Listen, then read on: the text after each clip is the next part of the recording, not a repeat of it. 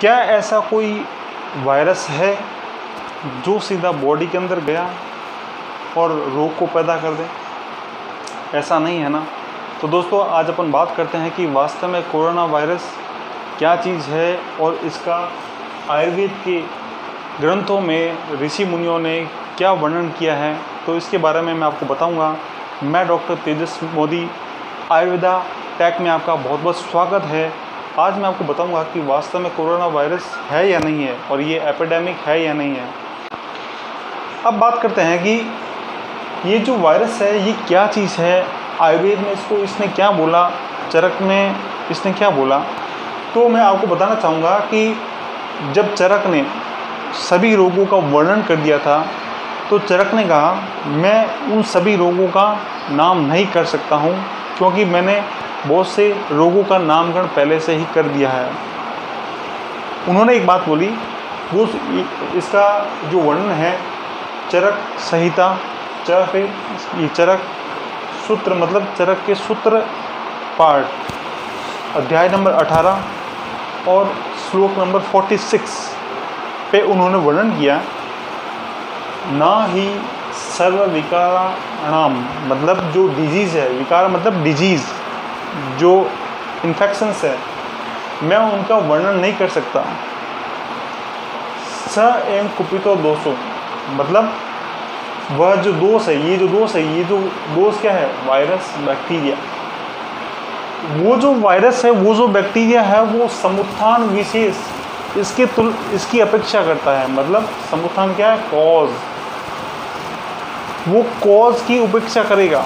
चाहे प्रकृति में चाहे इन फ्यूचर कोई भी रोग आएगा तो वो कॉज की उपेक्षा करेगा। मतलब चाइना में क्या हुआ था? चाइना में क्या हुआ? उन्होंने मांस का, बैट का सेवन किया चमकादड़ का सेवन किया। इसलिए उनको वो वहाँ की ये समस्या हुई। लेकिन अब बात यह है कि मैं वहाँ चमकादड़ अभी इंडिया में इंडिया में मांस सेवन करने वाले बहुत कम हैं। डेफिनेट है वो चीज़ वहाँ, यहाँ पे नहीं होगी। अब वायरस चलो इन्फेक्शन फैल भी गया, लेकिन ये क्या कहता है? स्थानांतर गतश्चेव मतलब कॉज तो हो गया कि वायरस है। कॉज तो ये हो गया वायरस है कि इसका क्या है? वायरस क्या है?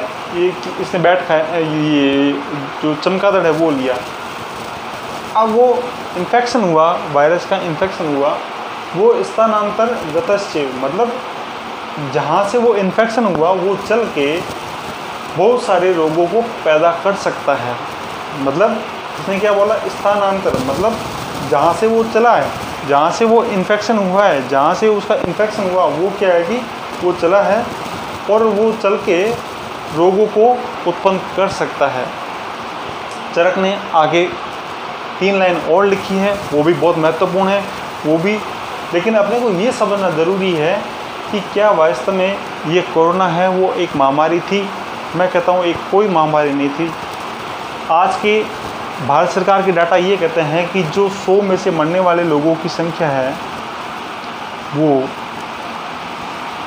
टू परसेंट है। जबकि रियल में है वन पॉइंट फोर परसेंट, यानी कि सौ में से एक व्यक्ति मरेगा और वन बाई फोर बेड पे रहेगा। मतलब इसका जो रेशो है वो बहुत कम है। तो ये महामारी कैसे हुई? महामारी महामारी महामारी, वायरस, महामारी, कोरोना वायरस, महामारी, कहाँ है महामारी? ये तो एक से दो परसेंट ही है तो महामारी कैसे हुई इसको? ये लॉकडाउन वगैरह, ये करना, ये सब मुझे थोड़ा सा क्योंकि ये राजनीतिक मुद्दा है, इस पर अपन नहीं जाएँगे। ये सरकार की एक अलग थिंग है, लेकिन मैं ये कहता हूँ कि इंटरनेशनल एक प्रेशर था, चीन की एक चाल थी, जो चीन उसकी अपनी चाल में से खरा उतरा। लेकिन इंडिया वालों ने भी, इंडिया इज़ द बेस्ट है, इंडिया अपने हिसाब से खुद को हर तरह से, हर तरह की समस्या को ढाल लेता है अपने में और उसका ये समाधान भी कर लेता है।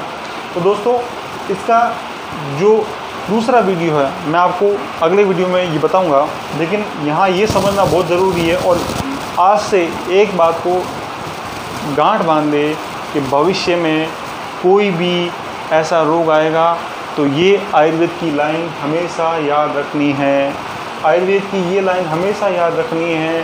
चरक ने क्या बोला कि भविष्य में लाखों रोग आएँगे, मैं उनका नामकरण नहीं कर सकता। मैं केवल इतना कह सकता हूँ कि जो भी रोग होगा प्रकृति में, या इन फ्यूचर कोई भी रोग होगा शरीर में, वो वात, पित्त और कफ इससे ऊपर नहीं जा सकता क्योंकि मनुष्य की प्रकृति इनसे ऊपर नहीं है। वो इससे परे नहीं रह सकता वो। वो इससे दूर नहीं रह सकता वो।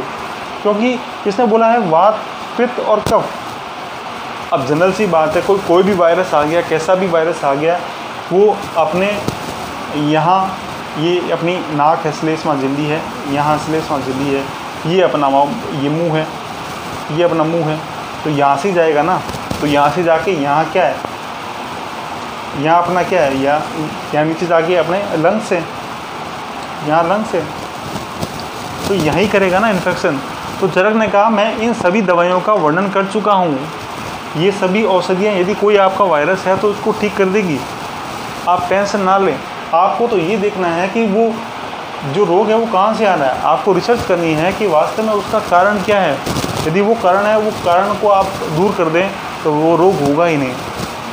तो तो दोस्तों, इस वीडियो का आपका फ़र्स्ट पार्ट आपको कैसा लगा? यदि आपको अच्छा लगा तो आप इसको लाइक करें, सब्सक्राइब और चैनल को सब्सक्राइब करें ताकि आपको ऐसे ऐसे वीडियो आपको ये मिलते रहें और साथ में इस वीडियो को उन लोगों तक पहुंचाएँ जो वास्तव में उनको पता नहीं है कि आयुर्वेद क्या चीज़ है, आयुर्वेद क्या क्या कर सकता है, आयुर्वेद में क्या क्या वर्णन है, आयुर्वेद में, आयुर्वेद कितना आगे बढ़ चुका है वो सब एक्चुअल में देखो, दोस्तों ये क्या चीज़ है?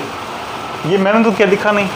मैंने साफ़ बोला आपको, मैंने बोला कि चरक संहिता, सूत्र स्थान, ये अध्याय अठारह और श्लोक नंबर छियालीस।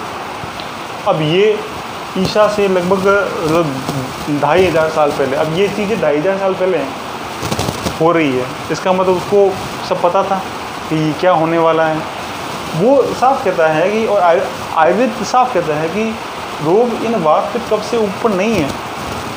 इससे ऊपर कहीं जा ही नहीं सकता वो क्योंकि ये प्रकृति उसके गर्भ में ही बन जाती है। अब गर्भ से जो बाहर निकल के आया है वो इससे अलग तो नहीं हो सकता ना। तो दोस्तों इसका जो ती, ये तीन लाइन है वो आपको अगले वीडियो में मैं ये बताऊँगा पूरा उसका वर्णन करूँगा। तब तक के लिए आप वीडियो को देखें और इसको लाइक करें और ज़्यादा से ज़्यादा इस